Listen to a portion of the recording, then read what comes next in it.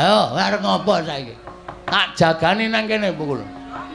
Sampeyan iki dewa wis malak lho. Kancane tangane loro kok sampeyan papat dhewe. Hm? Dobel ya sampeyan. Senengane dobel ya. Biasane siji mungsuh siji sampeyan mungsuh loro wae wani. Lah, lah edan dan. Ya mau dipati iki piye iki? Bagong. Bagong. Nun, sapa niki? Ya Madipati.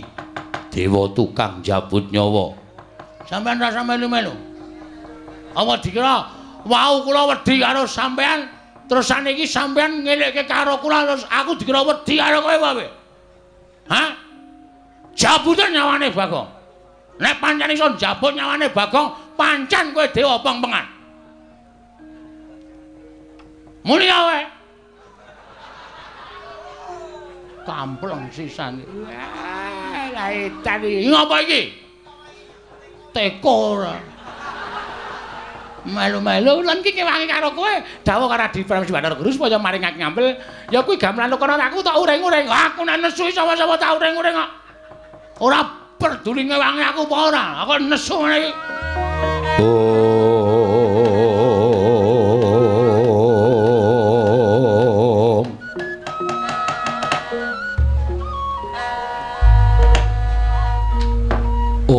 Om Mastunama Sidam Skaring Bawana Langgeng. Kakang Narado. Kakang Resi Kanika Putra. Sawetawis lenggah wonten ing kayiwangan Bali Martyu Kunda Manik. Sarawandika Kakang ingkang rayipun Manik Maya ngaturaken pasegan panakrami kunjuk ngersanipun Kakang Resi Narado. Kakang Resi Kanika Putra. Ah, perkencang warudayang Pak Pak Pong, Pak Pak Pong, Bu Bolong kali sapa sing gawe? Lha nggih, Di.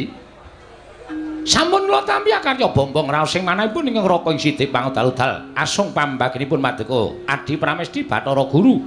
Dhateng raka pun Bathara Antarada. Saha suwan kula tansah pinanganing kawidatane ring Sampikala. Namung keparenga ingkang raka ing sidik pangudal-udal kepareng ngaturaken pudya pangastawanipun ingkang raka kunjuk ngersa Madeka Adi Pramesti Bathara Guru. Kula tampi karya bombong raos sing manahipun ingkang rayipun Manik Maya Kakang. mboten langkung kasekecakno anggen jengandika lenggah Kakang Resi Narada. Ah nggih, sampun mboten kirang prayogi pisawanipun makanto ing sithik paudal-udal. Wonten ing datul yen Kayiwangan Suralaya menika Adi Pramesti Bathara Guru. Apa dene sira Bathara Indra? Sawetara nggone suwana ning ngarsaning panjenengan ulun prayogakno nggone ngadhep Atmaja ulun Bathara Indra. nutun ngestaken dawuh pukulun sampun boten kirang prayogi piswanipun ingkang putra pun Bathara Surapati namung kepareng kula ngaturaken sembah sumenging pangabektinipun ingkang putra pun Bathara Indra kunjuk sandhapada paduka Iwang Adi pukulun sesembahan kula pukulun Sang Hyang Bathara Guru. Indra ulun tampa akarya bombong tias ulun ora liwat pangestu ulun tampanana Bathara Indra kula pundhingga jimat paribe. Dayanana ing kasantosan apa dene sira Yama Dipati prayogakno nggone ngadhep? Kawula non nggih pukulun sampun boten kirang prayogi pisawanipun ingkang putra pun Yama Dipati namung kepareng kula ngaturaken sembah sumangga pangabektinipun ingkang putra kunjuk sandhapada paduka Iwang Adi pukulun iya iya. Yama Dipati lun tampa karya bombong tias ulun ora liwat pangestu lon tumrapa marang jeneng para kulup Yama Dipati. Kula bendhingga jimat paribeh dayanana ing kasantosan penyarian prayogakno nggone ngadhep ngarsa ulun penyarian. Kawula non pukulun sampun boten kirang prayogi biswanipun ingkang putra pun penyarian namung kepareng kula ngaturaken sembah. Sumangga ing pangabekti kula kunjuk sandhap cendela paduka Hyang Adi pukulun ulun tampa karya bombong tias ulun penyarian. Ora liwat prayogakno nggon kita ngadhep kawula nun ngestaken dawuh. Kakang Narado Kakang Resi Kanika Putra. Sawetawis lenggah madaning Bali Martya Kunda Manik. Mesti kemawon kagiat sutaning penggalih paduka Kakang Resi Narado krana dinten sak mangke ing ngrayipun Manik Maya ngawontenaken pepanggihan madyaning Bali Martya Kunda Manik Monggo menika sanes dinten panggihaning para Jawata ingkang pendak-pendak tansah dipun wontenaken wonten ing Bali Martya Kunda Manik Kakang Resi Narada. Mestinipun mekaten di Gorawalan raos sing manahipun ingkang Raka ing Sidik Pangudal-udal. Sasamunipun kula nampi dawuh timbalanipun Adi Pramesti Bathara Guru. Bilih rikalagan samangke kula katimbalan sowan wonten ngersa paduka Adi Pramesti Bathara Guru. Ados menapa kagiat raos sing manahipun ingkang Raka sasamunipun kula prapta wonten ing Bali Marti Manik teka kathah sangganing para Jawata, para widodara widodari ing sami ngempal wonten ing madyaning Bali Marti Manik menika. Kajena bilih paduka Adi Pramesti Guru ngawontenaken pepanggihanipun para Jawata, malah samangke gandeng ingkang Raka sampun keparang sowan Tumunten kula cumadhong dawuh timbalanipun Paduka Adi Prasti Bathara Guru. Wonten menapa di dene ndika ngawontenaken pepanggihaning para Jawata? Menapa wonten bab ingkang magepokan kalian jagat raya teka Paduka ngawontenaken kawontenan wonten ing Bali Marti Kunda Manik menika Adi Pramesti Bathara Guru. Kakang Narada, menapi? Sasampunipun ndika Kakang paring dawuh ingkang mekaten, ingkang rayi pun manik maya radya mbabaraken menapa ta wigatosipun? Dene ingkang rayi ngawontenaken pepanggihaning para jawata kakang resi narada. Ah menika langkung prayogi. Mugi andadosna ing kawuningan. Ingkang sawetawis dinten para jawata ketingal jenak miwah ayem tuwin tentrem. Angenipun sami lenggah wonten ing kayiwanganipun piyambak-piyambak nanging boten kados sak gedhagan dinten mangke. Sampun wonten tigang dinten etang kelengganing nggo dinten sak mangke menika kayiwangan kadidene ketaman goro-goro. Kakang Rodo menawi Kakang Resi kanika putra menika mangertos menggah menapa to sababipun dene kayiwangan ketaman goro-goro ingkang kados mekaten. Goro-goro kayiwangan menika kala wau tuwuh saking menapa lan sinten ing ngandhadosaken gara-garaning kayewangan keparenga Kakang Resi Narada paring pangandikan dhateng ing rayipun Manik Maya Kakang Rada ah dalah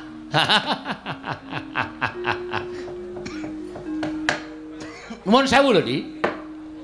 Mboten ateges kula menika badhe andha dhateng kepareng Paduka Adi Paramesi Bathara Guru menika babar pisan mboten tuwin.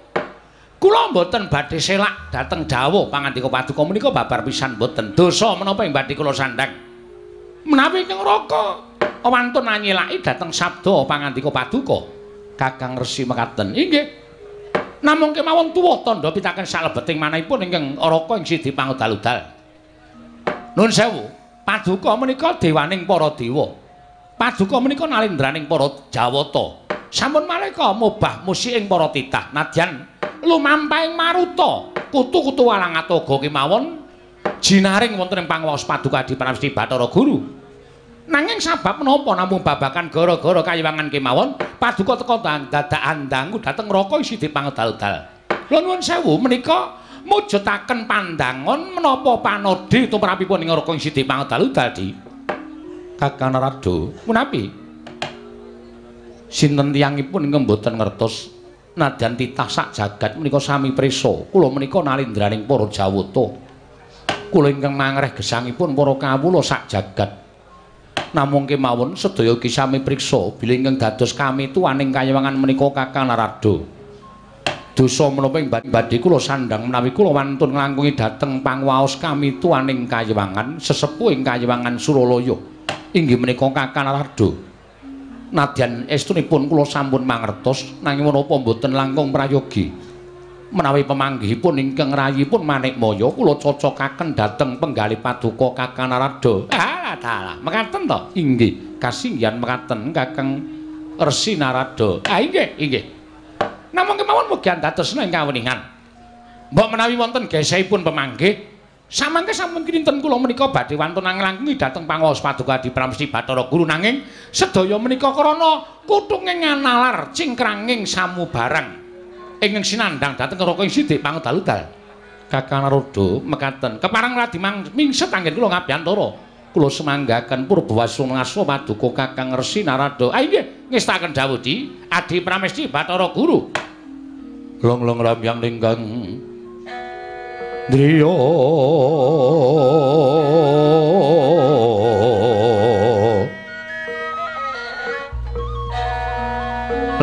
Candra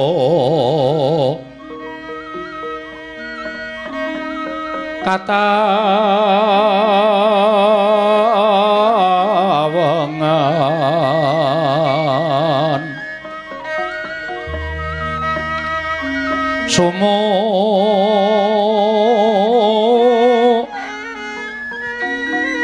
jas katu ritan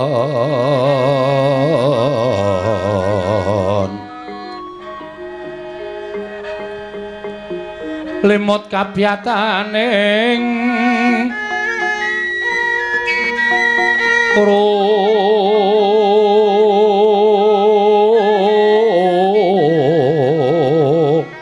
ojit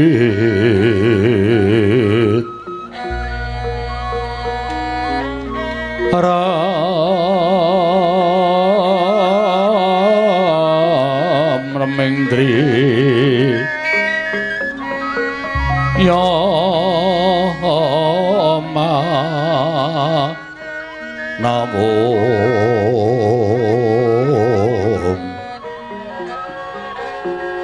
kakowonging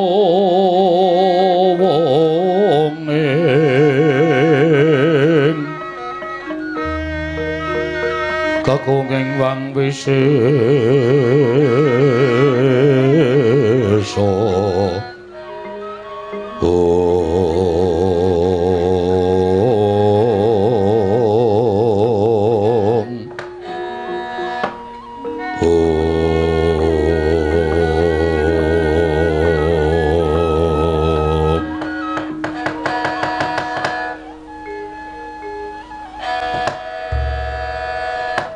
Adi Pramesti?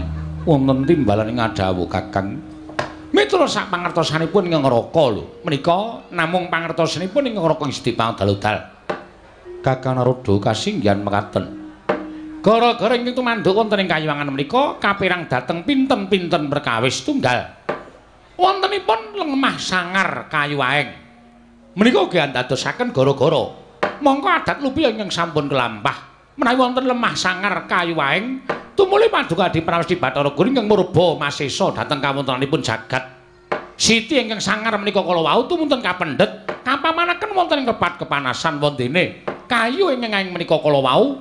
Wreksa kala wau dipendhet wonten ing kayuwangan kinarya umpak ing bale Martyakunda. Menika di kasinggihan Kakang Rada naking saking panginten kula mboten wonten lemah sangar kayu ingkang ndadosaken gara-gara wonten ing kayuwangan. Eh nggih ing angka kalih. Inggih menika menawi wonten setunggiling pandhita ingkang malih tinggal. Tegesipun kados pundi? Singlar saking adek-adeking kabrahmanan, singlar saking adek-adeking kapanditan. Tegesipun nerak pacak nerajang perbatang tumindak angkara budi candala. Menika ugi andadosaken gara-garaning kayuwangan. Namung semantra jagat menika mboten wonten pandhita ingkang nedheng malik tinggal menika babar pisan mboten. Ing angka 3 inggih menika setunggiling satriya ingkang nilar dhateng kasatriyanipun madheg brahmana menika ugi andadosaken gara-garaning kayuwangan. Lupi ingkang sampun kelampah Inggih menika lampahipun wayah paduka ing Madukara pun Arjuna. Anggenipun dados pandhita wonten ing pertapan Ngendra Kela pepara Begawan Cipta ning duk nalika semanten ugi andadosaken gara-garaning kayuwangan. Ingkang salajengipun menawi wonten satunggiling titah ingkang nerak pacak nerajang perbatang minggah dhateng kayuwangan. Kepengin ngungkuli dhateng panguwaosipun para Jawata menika ugi andadosaken gara-garaning kayuwangan. Contonipun sinten Kakang? Tasih wonten sambung rapetipun kalian pun cipta nggih menika Nalindra Ngima Imantaka Prabu Niwata kawaca anggenipun kepengin dados nalindranipun para dewa. Menika saestu adamel gara-garaning kayuwangan. Malah dadosaken bingung ing Sang Hyang para Jawata wekasan meh kemawon Suralaya bedah duk nalika semanten. Menawi boten saking pambiyantunipun wayah paduka pun pamadya sak mangke kayuwangan sampun boten saged kinukup. Saking pengamihipun Prabu Niwata kawaca. Kakang Resi Naroda kasinggihan mekaten. Lah, perangan ingkang sampun aturaken menika kala wau saking paninganipun ingkang Raka Sidik Pangudal-udal menika mboten wonten di dados engga sapriki kemak menika Paduka Adi Pranasti Bathara Guru menika ngraosaken gara-gara ing manduk wonten ing kayuwangan hawa sumuk ing kados mekaten menika kala wau Kula nuwun pangapunten ing sakalangkung kathah ingkang ngraka dereng saged anjajaki dhateng menapa ingkang lampah wonten ing jana loka. Wong Mas Tunama Sidam sekaring bawon langgeng Kakang Rada. Menawi telu mekaten menawa dipun keparengaken kula badhe munjuk atur ngersanipun Kakang Resi. Ah, bab ingkang menapa? Menawi mekaten nuwun pangapunten. Cetha menawi Kakang Resi kilang lante panggraitanipun tuwin kiranging panaliti. Lho, sababipun krana jagat sakmangke nembe wonten kawontenanipun titah, muganipun titah. Ingkang sakmangke badhe wonten magepokanipun kalian kayiwangan. Moganipun titah ingkang wonten magepokanipun kalian kan Suraya menika tegesipun wonten pamutaipun titah Pujangkara. Ingkang sakmangke badhe minggah wonten ing kayiwangan, badhe nyuwun satunggiling uba rampe ning kayiwangan. namung kemawon Kakang ingkang dadosaken kagiat sotaning manah kula. Teka titah menika kala wau dereng saged kula jajaki. Titah menika kala wau sinten? Krana saking paningalipun ingkang rayipun Manikmaya, titah ingkang badhe minggah wonten ing kayiwangan menika sareng kula tamataken. Saha kula waspaosaken kanthi netra permana jati teka tasih katutupin rongning salomba. katingal dereng cetha pasuryanipun titah menika kala wau namung semantena mrawi boten lepat saking pangintenipun ingkang rayipun manikmaya titah ingkang badhe minggah wonten ing kayiwangan menika sakmangke sampun dumunung wonten ing repat kepanasan Kakang Resi Narada Sigra-sigra yen pramana kanca sikur ngrakit nawang sesongko.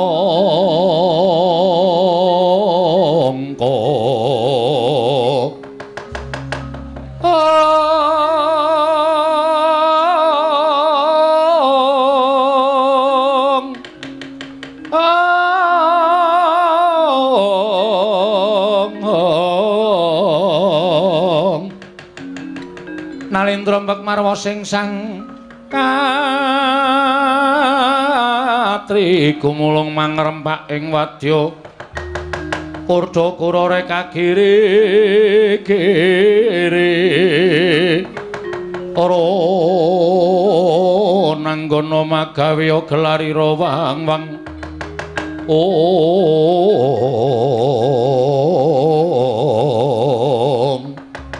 Om.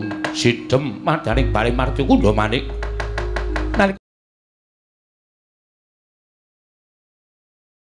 Nalika semanten sangganing para Jawata, para Hapsara, Hapsari samya midhangaken pangandhanipun Sang Hyang Jati Murti.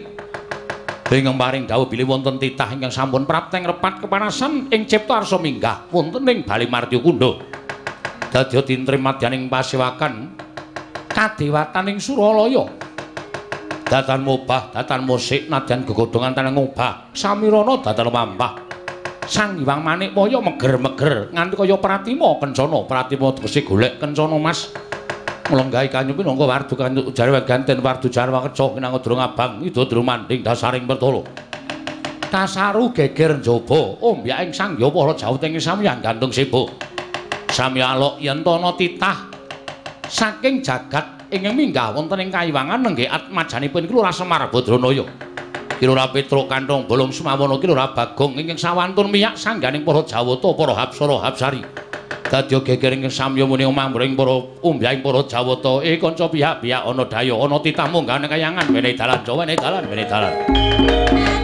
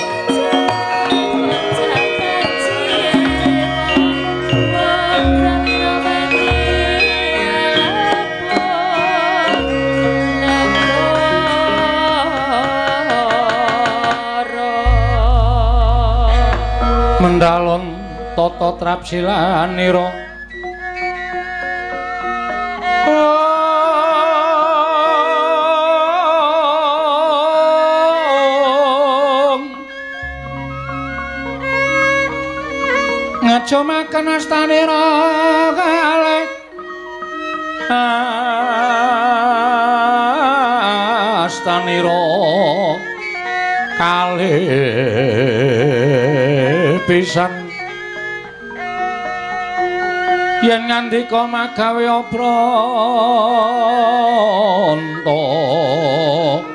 oh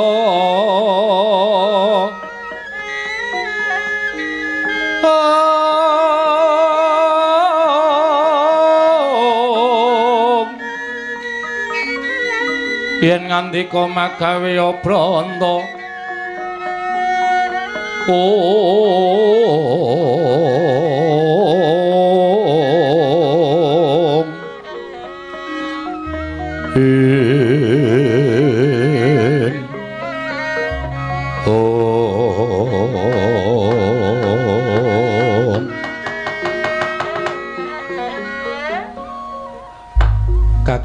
Nodo, punapi? Ndoro dasih rantamaning manahipun ing rayipun manik maya jumbuh kanan menapa ing sampun laturaken. Nah, dalah. Wah, lah cocok, cocok. Panjenengan paring dawuh bilih badhe wonten titah. Titah ing jagat ing badhe minggah wonten ing kayuwangan. Ning niki napa mboten klentu?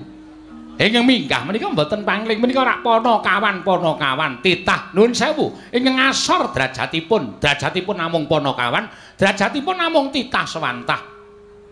Namung kawula. Lah kok derajat-derajat minggah wonten ing kayuwangan, monggo tanpa tangliwara ingkang saderengipun. Kakang Rada, punapi? Nadyan mekaten Petruk lan Bagong menika atmajanipun Kakang Semar. Tumrap kula mboten dados menapa Kakang Resi Narada. Ah, menika langkung prayogi, langkung prayogi. Kakang Rada katuran lenggah prayogi kula tak ndangu kalian Panakawan ingkang sowan. Ah nggih, adik kula sumanggaken. Panakawan Petruk padha kanthi harja sak praptanira Panakawan. Nunamit pasang Kalimantabe tinebene iki lho dene demawaing tawang-tawang. Lenepatno ing tulamanu sipulun. Kemareng kula ngaturaken sembah. Sumeng kemeng pangabekti kula kunju. Iya ya Panakawan ndak tampa pangestuku tampanana. Kula pun dinggo jimat paribeh dayanana ing kasantosan. Truk, Hmm. sing nunggokke kowe berskap sapa ya? Bapak, Ikete bapak. aku tak bali nang omah ya, Truk. Ngopo? Ngajar Semar. Lho. Mergane Iki jenenge ora adil. Munggah nang kayangan kowe disandangi apik kaya ngono kok mbedak-bedakke Semar aku blas ratu kok apa-apa men disangoni trening abang. Iki cetha nek Semar ketok nek arep ngasorke derajate anake sing ragil ning ngumbul-ngumbulke anake sing tengah. Lah kowe mau kowe wingi dek dina Minggu kon teko none bapak ora teko. Lah ngapa? Do ukur seragam kok. Aku ro gareng wis ukur beskap, ikete ya wis ukur. Lah kowe kok ora teko. Ah, semar semari.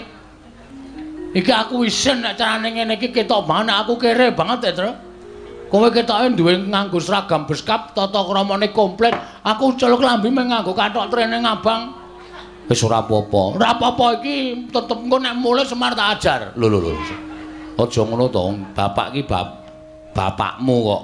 Kowe iki ya arep digaweke iket, ning bakale ora cukup, kudu nganggo korden.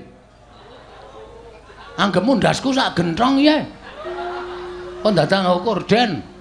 Ah wong ukuran iket kok 86 ki sirah apa? Uteke gedhe. Ponokawan Bagong. Wonten dawuh, panjenengan sinten? Lho lho lho.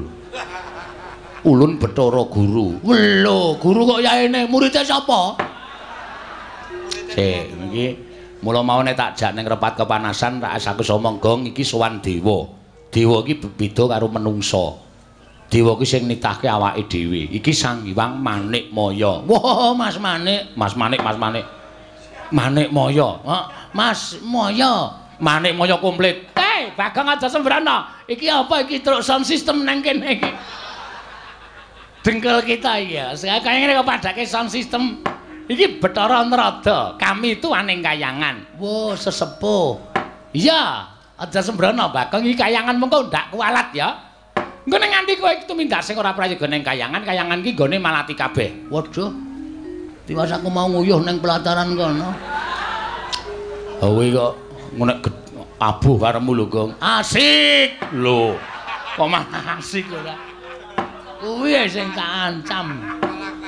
Malah seneng ora. Kono kawan Bagong Padharjo sak praptaunira. Pangestunipun Iwang Pikulun Bathara Guru. Guru basa Jawa. Wilujeng nering sambikala bekti kula katur Sang Hyang Manik Maya. Maya. Iya ya Bagong ulun tampa.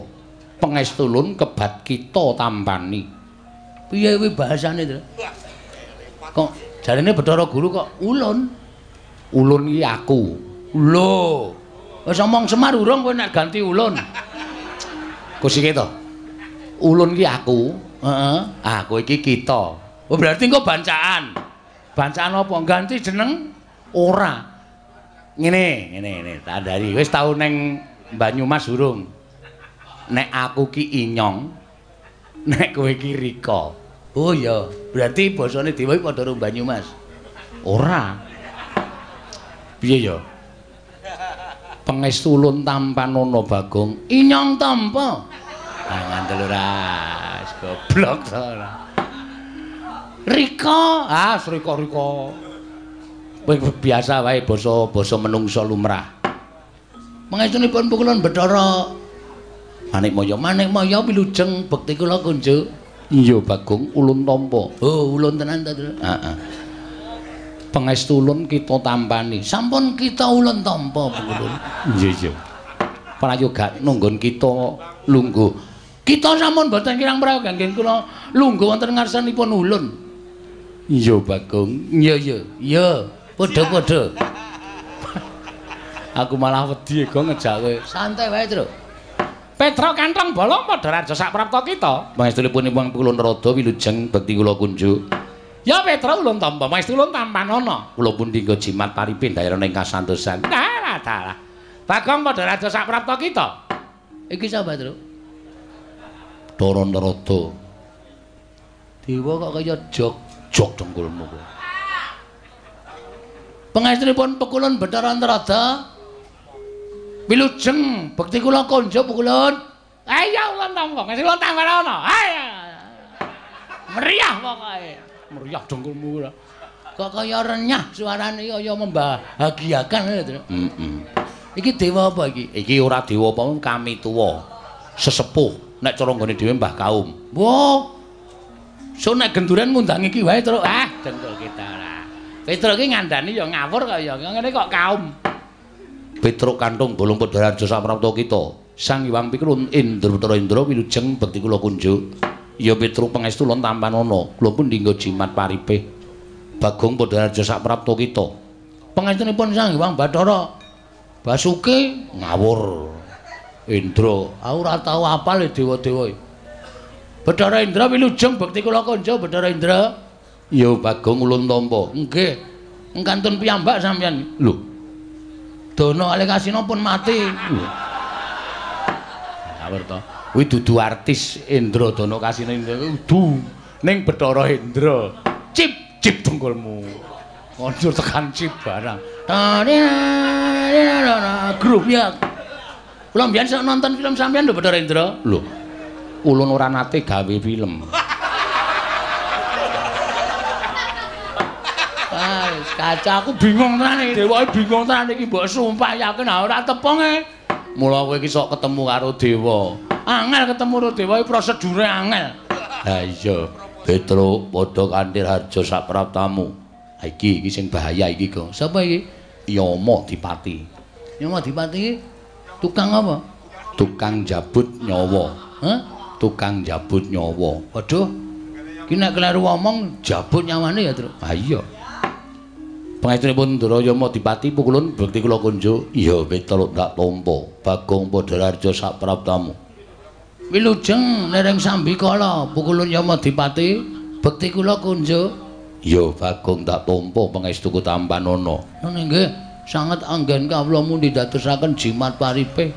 Kok alus Nyawa e.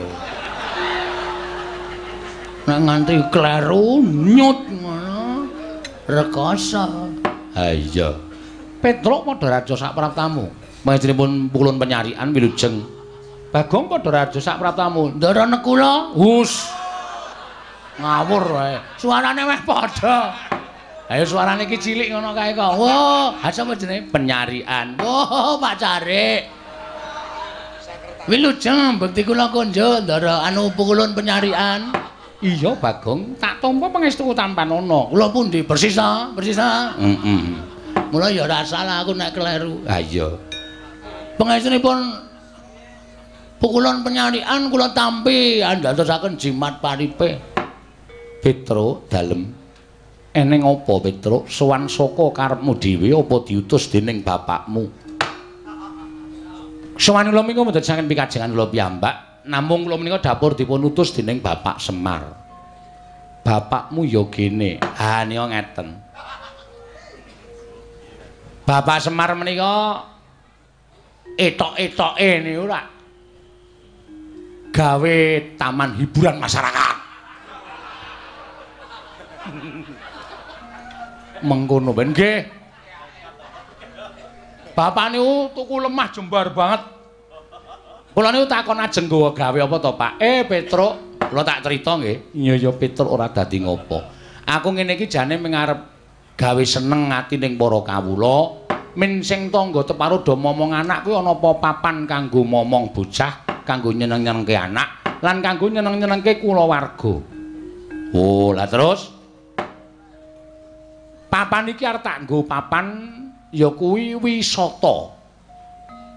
Wisata, nggih. Hiburan, hiburan. Wah iki nek matur karo dewa rada angel, Gong. Ora apa-apa, santai wae engko rak dewane do ngerti. Jare guru kok ora dong.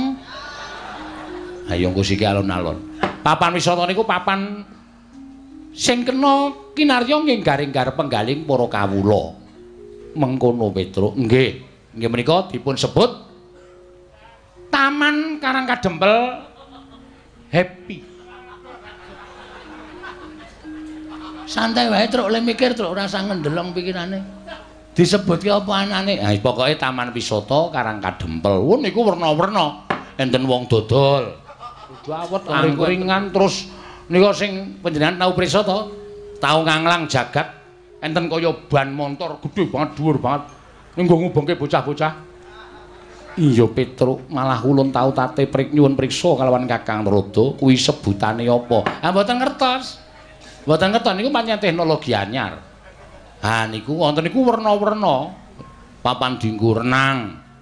Papan dinggo nglangi. Sak piturute pokoke dinggo maem bebarengan kali para kawula. Niki pun dadi wis dadi Petruk. Empun pun kathah para kawula sing napa niku? eh rawuh teng papan wisata sing digawe karo bapak niku pun kathah. Kula malah sing didadekke keamanan garing niku sing didadekke ngawati apa ya jenenge kuwi tempat-tempat sing dienggo wisata niku. Lah sing jaga tiket Bagong. Bapak niku rumangsane kok tekor terus. Monggo tikete niku payune akeh banget. Ning setorane dhuwit saka tiket niku kok mboten jumbo karo cacahing tiket. Sing jaga tiket sapa? Niki menungsane. Niki. Tangane lho. Nuding kok neng rai ra sopan. Lah aku mung nguduke kowe sing jaga tiket kok.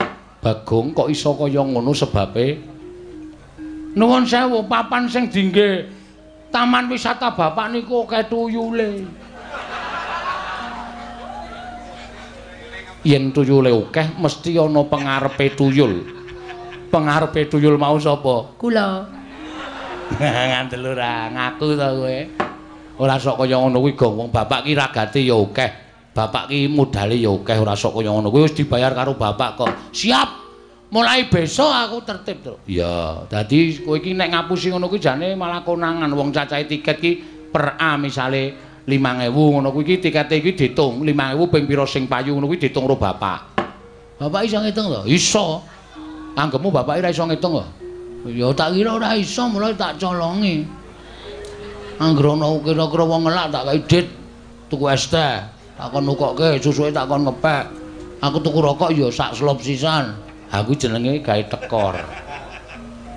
Ora kena. Kuwi bapak jane wis ngerti ning bapak meneng wae. Aku jadi pecat ya terus ora. Lah terus wigatine sowan ning kayewangan. Lah supaya nyukupi sarta nuwun sewu, taman menika ketingal sae wilujeng niku tata carane wong Jawa sing dienggo karo bapak utawa teng Karang Kadempel niku mriki niku kudu diruwat. Kene ngendi taman wisatane bapak niku kudu diruwat kanthi carane tatane wong Jawa niku nanggap wayang. Monggo bapak niku nuwun sewu nek kon mayang apike ra jamak-jamak. Monggo bapak niku ming kon ngruwat. Lah bapak bingung lek ajeng nyuwun ngampil gamelan niku teng pundi. Tumuli piyambakipun emut nek duwe adi inggih menika nuwun sewu Kadang Taruna Sang Hyang Manikmaya sing kagungan gongso nami gongso Kyai Lokananta. Jane nggih bapak niku pun kula pringgake wong bapak ile mayang ra apike gamelane wesi wae. Kok wong mayang rung karo anape kok gamelane dadak saka kayangan kok nek nganti penontone gelo. Ya ora, bapak iki ora ngerti nom-nomane bapak nek mayang ape lho. Bapakne wong mayang entekke sindene. Oh.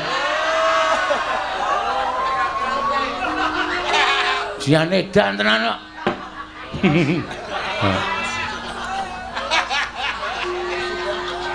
Mula saniki golek waranggana bapak niku kangelan tenan. Emoh do dijake emoh ya.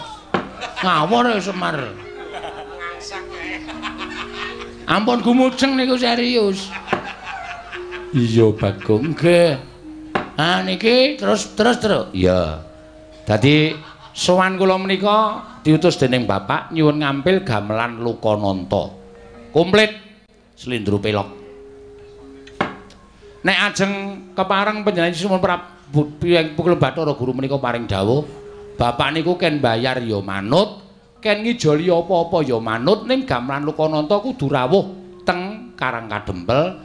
Dadi srana syarat ngruwat Bapak inggih menika taman wisata sing enggal supaya nir ing sambikala. Dados sowan kula kali Bagong menika dipun dawuh dening Bapak supaya nyuwun ngampil wujudipun inggih menika gamelan Lokananta. Mengkono Petruk nggih. Mila dinten samangke menawi Wang Pikulun Bathara Guru kepareng maringaken matur sembah nuwun dene mboten nyuwun pangapunten.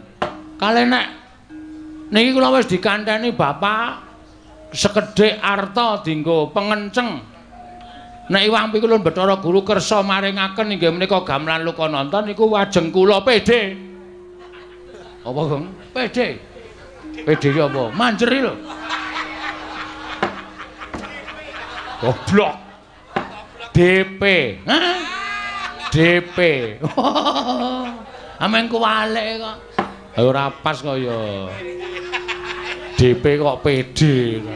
Niku mboten ketang sekedhik, mengke pelunasanipun pitung tahun sakwise pentas. Kuwi arep ngecara ngendi kuwi ora bakal diweneh diparingi ngambil nek pitung tahun sawise pentas ora. Ngoten mawon Bu Kulon. Kali welinge Bapak nek Iwang Pikulun Bathara Guru niku kuwatir gamelan Lokananta niku kenging napa-napa mengke ditabuh para titah. Mengke peranganing Jawata kinen ngetutke tindake gamelan Lokananta. Kalih Yoni Dipalilah mangke masyarakat bapak-bapak kumpulan karawitan Karang Kadempel ajeng nuthuk gamelan Lokananta mboten kitang sak kempyangan men padha marem niki pun latihan inggih menika ladrang Subasiti. Ladrang Subasiti. Suba Kastawa. Subasiti. Jenenge digabung-gabung ora apik. Ngene dene mboten nggih mboten napa-napa. Kakang Naroda, Menawi kados ketingalipun namung sepele ning tumrap kula kok dadi. Nyuwun pangapunten. Kakang Semar menika Kakang Ismaya, menika Kadang Paduka Werda. Mila menawi wonten bot repotipun Kakang Semar menika mesti pun Adi Prabu Bandha Guru sampun ngantos panjenengan menika awal maringaken ngampil gamelan Lukananta badhe kaboyong wonten ing Karang Kadempel. Malah tumrap kula menika satunggiling pakurmatan tumraping Adi Pramesti Bathara Guru ing atasipun paduka menika kadang tinemu taruna nanging tasih dipun penggalih dening kadang timun werda inggih menika Kakang Ismaya. Leres ngendikanipun Bagong, menawi kuwatir wonten menapa-menapa tindaking gamelan Lokananta menika dipun tutaken para Jawata. Indra ingkang kadawan supados ngetutaken sak kanca rawangipun para dewa ngetutaken lampahing gamelan Lokananta. Waton sampun ngantos dados tutawi damel murkanipun Kakang Semar. Menawi ngantos paduka dipravsi Bathara Guru menika mboten maringaken gamelan Lokananta, ah mesti kemawon Petruk wangsul wadul kalian bapakipun. Nek nganti Petruk bali wadul karo Semar, ah dalah Semar ngamuk teng kayangan Warataya. Sapa sing arep wani karo Semar Badranaya?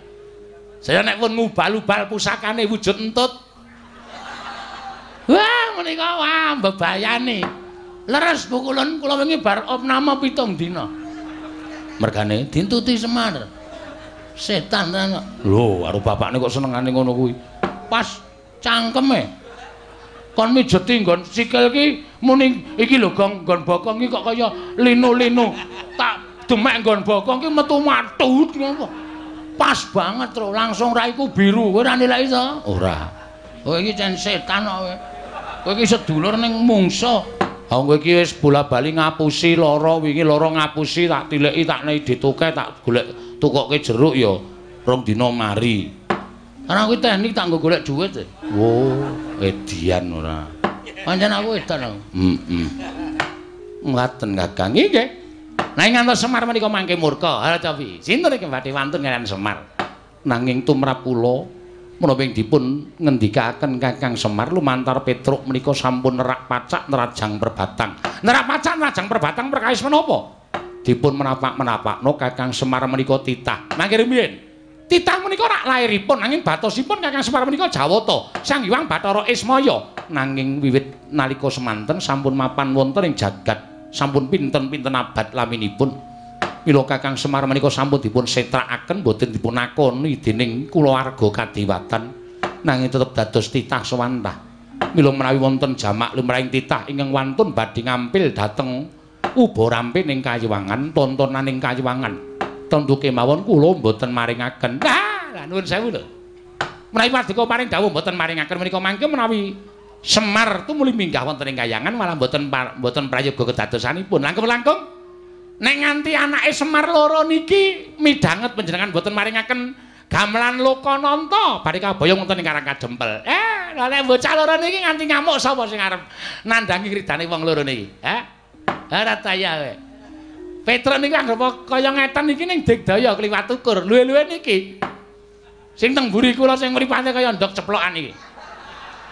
Iki nek wis muni nesu, ah, sapa sing arep wani karo Bagong? Lah dalah. Lho niki napa? Ora edan ana dewa kok ditirokke iki nek ora Bagong ora ora lho. Inggih Kakang Rodo, nanging tetep badhe kula mboten nglilani menawi gamelan Lokananta kaboyong wonten ing jagat. Lah menawi ngaten monggo, monggo. Ning nuwun sewu, kula tunggak waru godhong dadap. Tegesipun Menawi wonten menapa-menapa nrada ora melu-melu ora melu garap. Kula aturi ngraosaken piyambak. Kula semanggaaken. Mrika sampun kula aturaken lho. Tunggak waru godhong dadap nrada ora melu-melu ora melu garap. Nek ana moga-moganing titah kalih menika kula semanggaaken adhipun renggalang kridanipun Petruk kaliyan pun Bagong. Haripun sampun dipun utus dening bapakipun pados nyuwun ngambil gamelan Lukananta di Kakang Rodo kasinggihan mekaten. Petruk dalem mesti ki mau mesti wae Petruk wis midhanget. Nggih. Gamelan Lukananta kuwi tontonan ing kasuwargan. Oh nggih. Gamelan Lukananta kuwi wujude uba rampe ning kasuwargan, uba rampe ning kayiwangan. Ora saben titah bisa nyuwun ngambil gamelan Lukananta. Nyuwun mampunten, Bul. Ingin nyuwun ngambil menika sanes kula ning bapak. Sing nyuwun ngambil nika dudu Petruk ning bapak. nadyan bapak kita, bapak kita kuwi titah. Nuwun mapunten. Ngendikanipun para sepuh, ngendikanipun para pinter bapak menika mboten titah. Ning nika dewa Sang Hyang Bathara Ismaya. Nanging bapakmu wis ora dianggep kulawarganing kadewatan. Bapakmu wis dibuang ngono jagat tegese bapakmu kuwi wis dudu Jawata. Bapakmu kuwi mung titah swantah. Oh ngaten. Iya, dados kesimpulanipun keteranganipun kula nyuwun dawuh. Dipun paringaken ana mboten? Panakawan Petro, ulun ora mnayogyani, ulan ulun ora maringake. Mboten maringaken? Ora Petro. Ah nggih sampun mboten napa-napa. Gong, eh?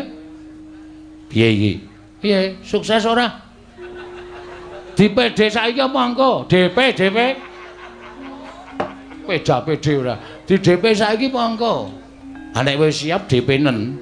Ning wong iki gamelan Lokananta iki ora dikeparengake tedhak ning jagat, ora entuk diboyong ning Karang Kadempel. Bagong, non. Gamelan Lokananta mboya entuk diboyong marang jagat.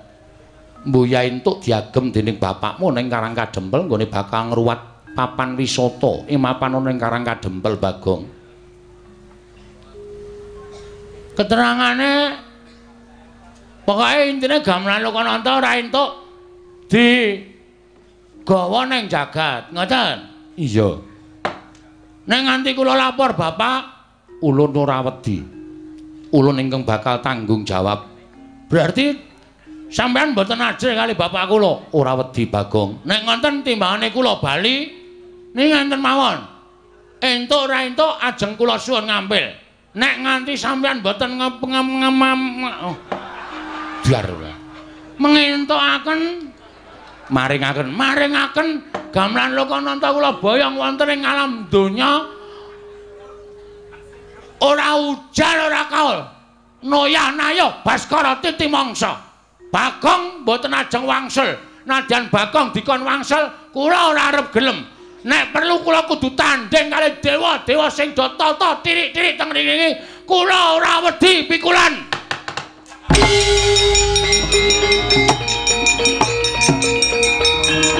Minggir truk. Ae. Alah,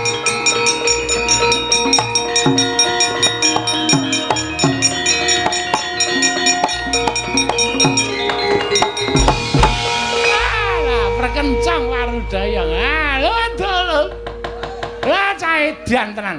Ning ngarepe dewa kok salto. Nandake nek aku ban kuning karate. Nyepelekke ora. Kanthi dasar apa sampean ora ngeparengake gamelan Lokananta digawa ning jagat? Mongko sing nyilih Bapak Semar. Ora ngono kuwi pukulun.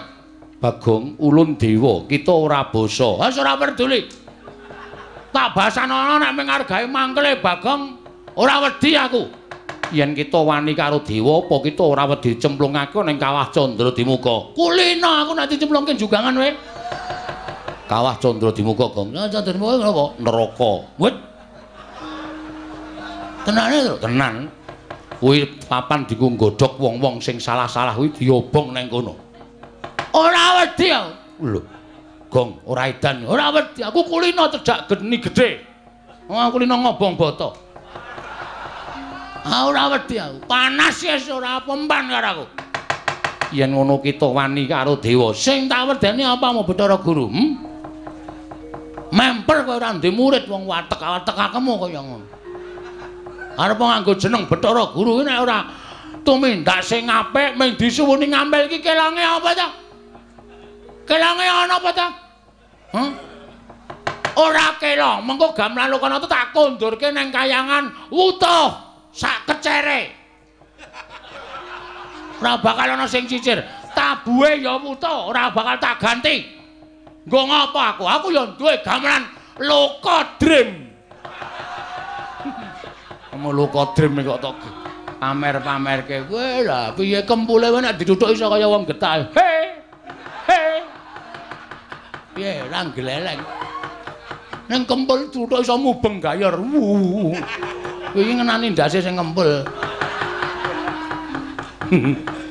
Wong gamelan wesi dipamerke. Pamapan entuk mboten? Nek mboten entuk, kula ora wedi lho. Kula nek ngamuk teng kayangan niku kulina. Pun, paringke nang mboten pikulun. Tetep ora ulun paringake. Kepiye? Wah, Di, Di, aku aturi anget lho, Di. Bagong sampun ngantos mengaten menika mbok sampun ngantos panjenengan menika damel kayangan menika geger. Nek kayangan geger ming diamuk Bagong rak saru dipun presani dening para titah wonten ing jagat. Kepiye? Balana pisan, Kas. Sampeyan muni piye? Bagong gamelan Lokananta ora tak paringake. Kula saking mriki mencolot mriku menggunakan kekuatan tendangan tanpa bayangan. Sampeyan kena mesti muntah getih. Ya, Tru? Mbuh. Antel. Dewa-dewa sing ngarep do ngadeg. Lho. Kowe kon kon tringgo kok malah ngadeg ora? Parang mboten Bu Kulun. Tetep ora ulun paringake. Kula hitunge telung kejeping paningal. Nek Bu Kulun tetep mboten maringaken, mboten wonten wiyosing pangandika paduka Hyang Adi Bu Kulun. Maringaken gamelan Lokananta dhateng Bapak Semar kula boyong wonten ing Karang Kadempel. Nyuwun pangapunten nek kepeksa Bagong mboten gadhahi tata krama wonten ing kayangan. Bathara Indra.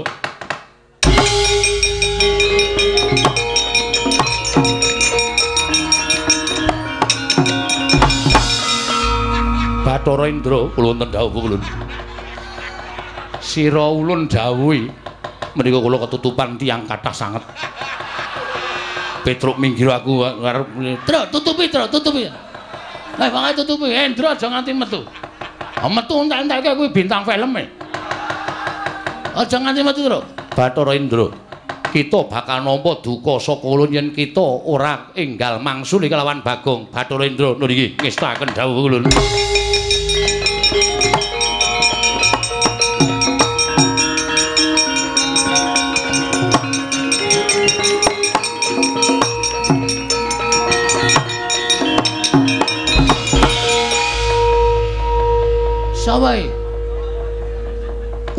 Bathara Indra. Welo edian Ulun putra nomor papat Iwang Pikulun Manikmaya Atmaja ingkang angka catur. Anake Bathara Guru ki pira? Akeh Bagong. Sapa wae sik mbarep sapa sik? Ulun dhewe mboya apal. Aku dene apal kowe anake Bathara Guru papat kok karo mbarepe kok ora apal. Ulun ora ngerti. Iki piye kok malah do cacah jiwa iki piye iki? Wong arep tantang-tantangan kok malah takon mbarepe sapa ragile sapa mbarepe sapa ya wis ben mbarepe wis nyambut gawe ragile urung nyambut gawe ngono wae sampung. Bagong kok dituruti ora. Ngopo sampean? Ulun ora nrimakake. Ora nrimake perkara apa? Perkara kita nggone swani kalian panjenenganing Iwang Pikulun Bathara Guru. Bagong bali apa ora? Ora. Kita bali ning jagat apa ora? Taun-taun windanana nek gamelan Lokananta ora mudhun ana ing ngalam donya ning ngarang kadempel aku ora arep tekan dindi. Tegese kita wani kalian panjenengan ulun. Apamu sing tak wedeni? Ayo, metu ning repat kepanasan tak bondo tanganmu tak rangket sikilmu. Tak lebu aku ning kawah Candra Dimuka. Oke, oke dikira aku wedi karo kowe. Apa dikira aku wedi karo kowe? Truk, Bathara Indra tandangi, aku sing nandangi Bathara Guru. Yo, manut wae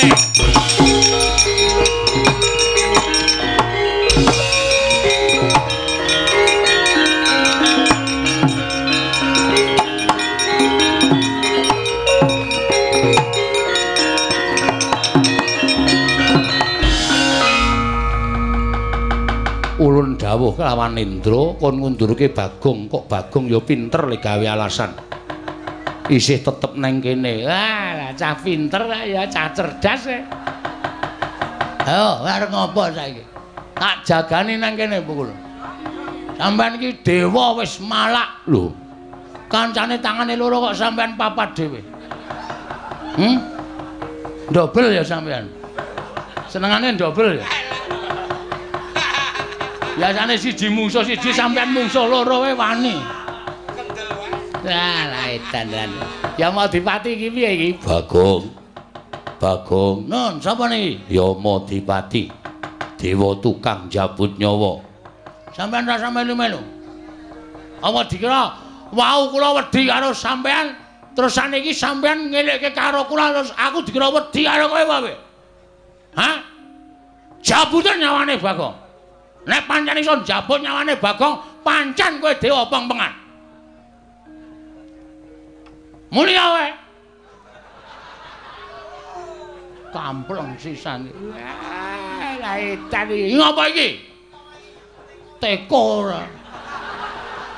Melu-melu lan iki kewangi karo kowe, dawuh karo Adi Prabu Bathara Guru supaya maring aku ngambil, ya kuwi gamelan kono aku tak uring-uring. Aku nek nesu sapa-sapa tak uring-uring kok.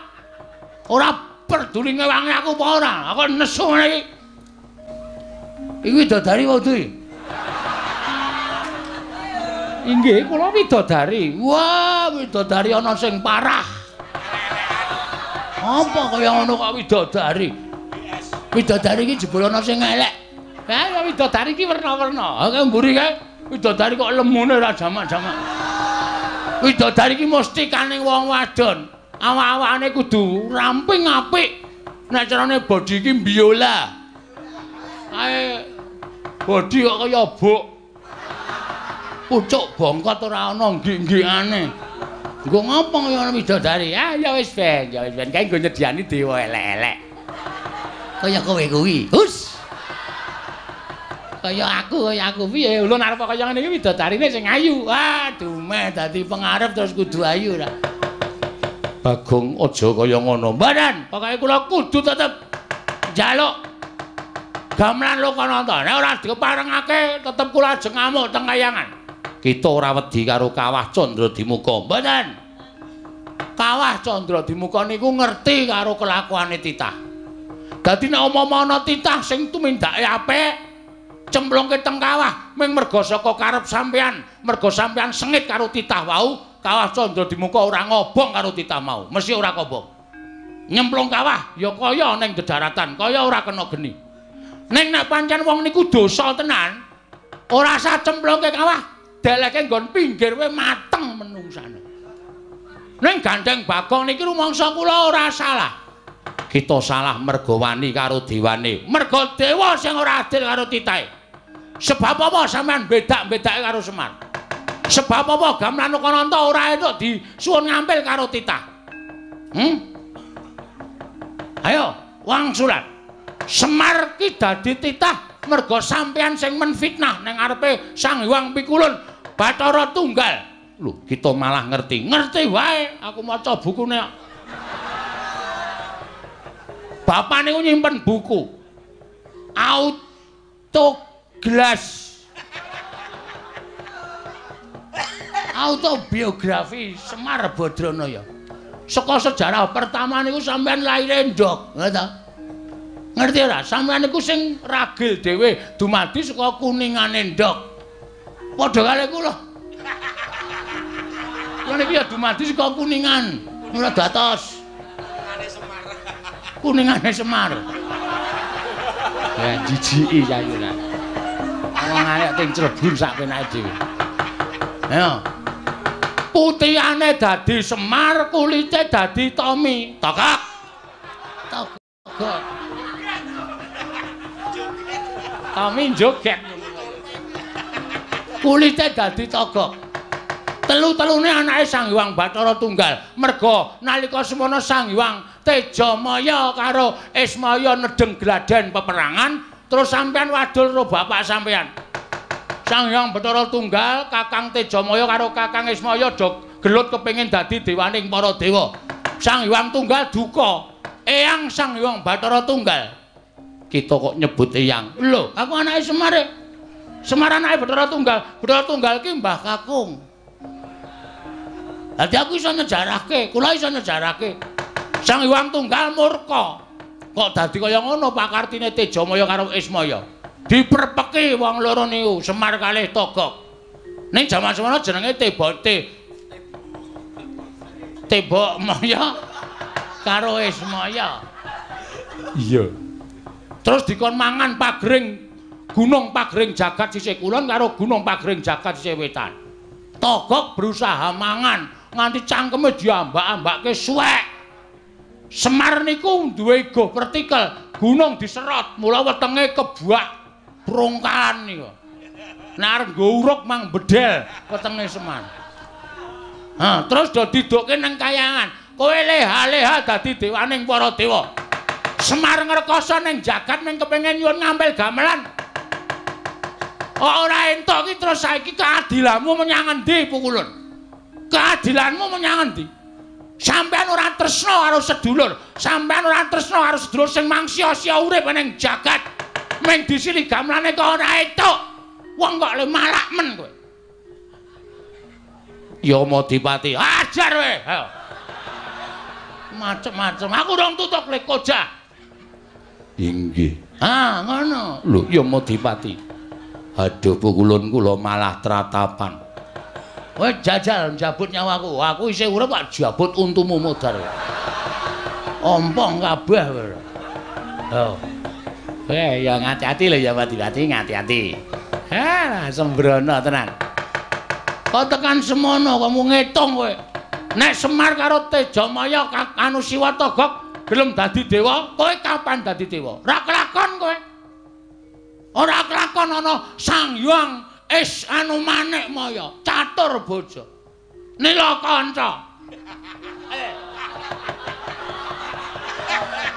Eh, ora ngajar to karo dewa kok ngunekke sak pinake dhewe.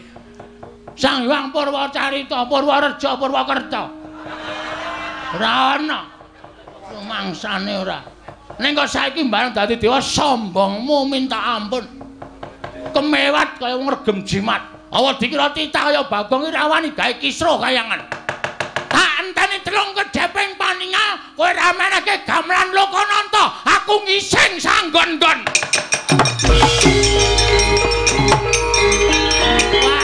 Wah,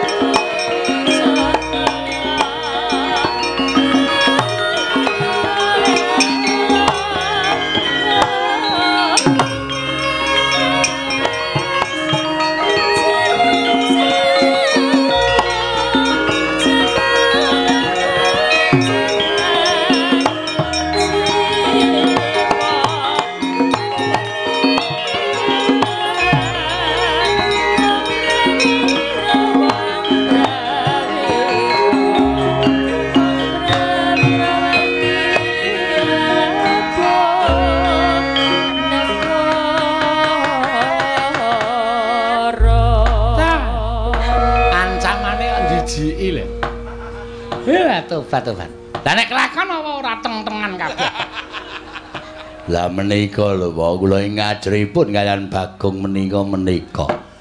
Wong dugal kewarisan sak kepenake dhewe. Ning tumrap kula suarane Bagong menika dadi wakiling para kawula ingkang mapan wonten ing Janaloka. Lah ya kuwi. Ah, lah di guru menika ya dipun suwun pados maringaken gamelan Lokananta iki kok ora kersa iki lho, malah ha tumrap kula ingkang nyumet dateng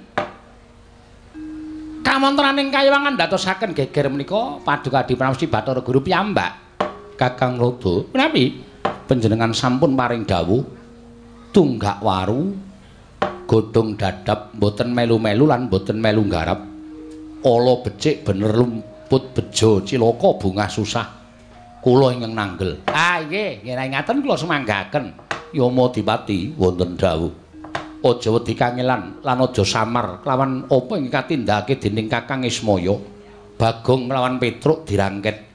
Sawise dirangket pasrahna lan panjenengan ulun, ulun dhewe ingkang bakal nyemplungake ning kawah Candra Dimuka.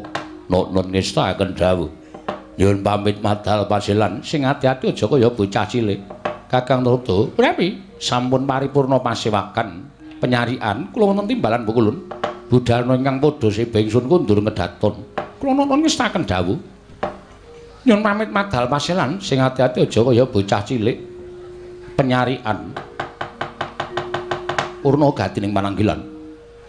Sang Hyang Pikulun, Sang Hyang Bathara Guru, sigra mandhap saking Sila Kanda Warubinangun. Katambi gambaran bungkul kencana. Kayap sangganing para widodara widodari, para jawata hapsara hapsari. Nalika semanten tindaknya Sang Hyang Manikmaya, lamun katinun saking Mandrawa, kaya tansah sesanti kamulyane.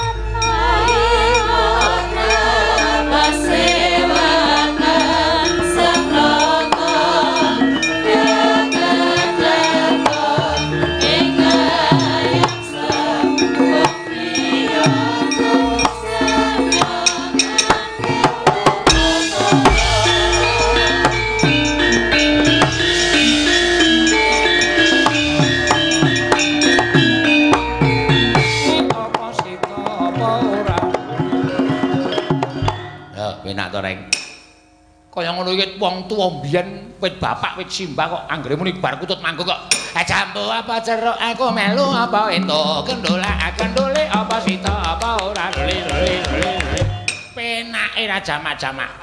Ameng sak jambu kok penak lho. Edan ya. Luar biasa ya gong anggitane piyai biyen ki pancen luar biasa. Jambu apa karo? Jeruk. Jeruk. Hah? Jeruk. Jambu apa jeruk aku melu apa ento kendila gendula wong ora bener kok ora ilatmu ki nek ngomong cepet ora iso. Gendalu gendula gendalu lor ngeril.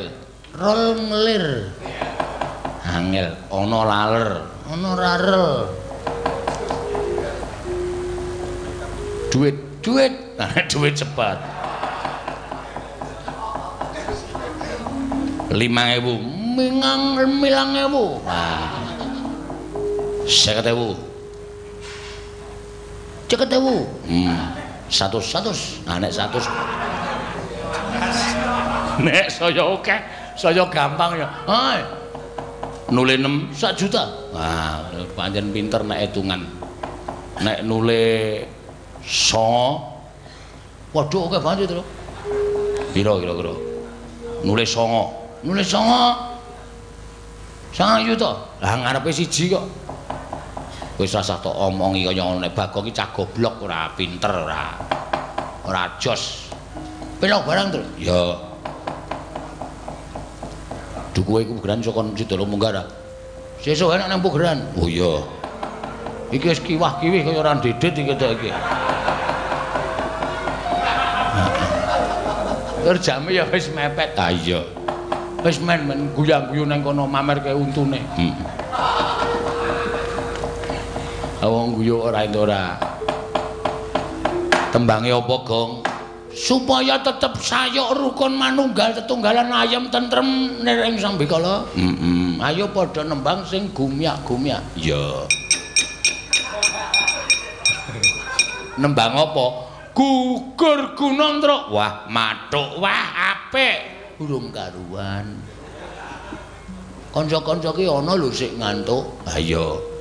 Iki aku mung sak gugur gunung kowe engko nek sik mbonang ngantuk. Monggo dados drojok. Tilulululu. Ah.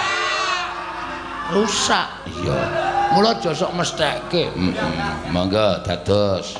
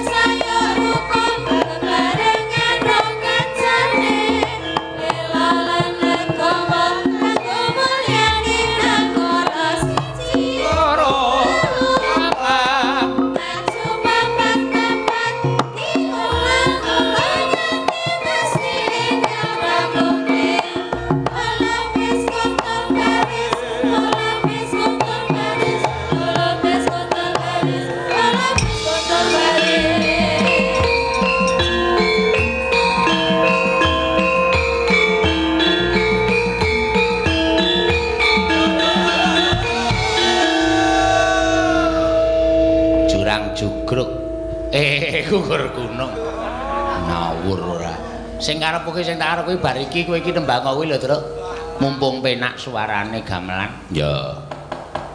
Sing pungkasan yo rek. iya terakhir tembang terakhir terus engko sebo ning ngarepe ning ngarep regol ngarepe Ndoro ah ngarepe Ndoro Janaka Jurang jugruk wanci pedhot bebayane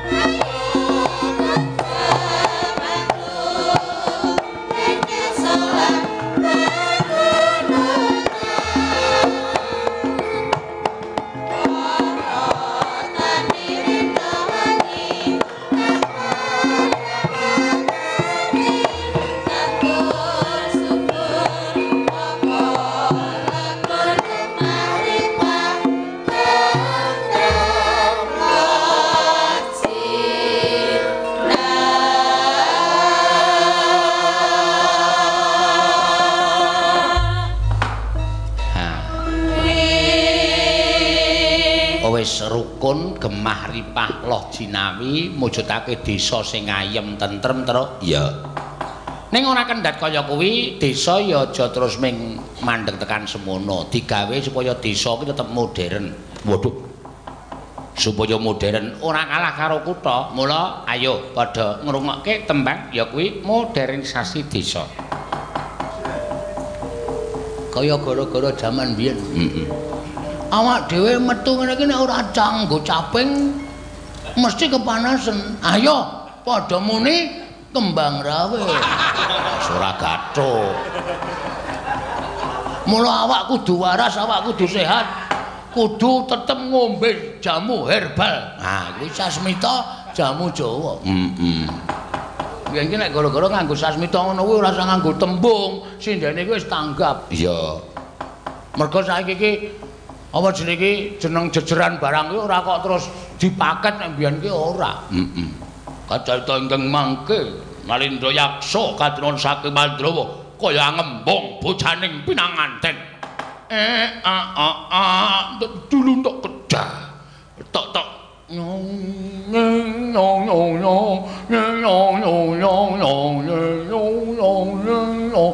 apa kuwi? Gambir sawit. majemuk. Majemuk ngembong bojaning pinanganten. Heeh Mula ayo padha mujudake desa sing modern dados.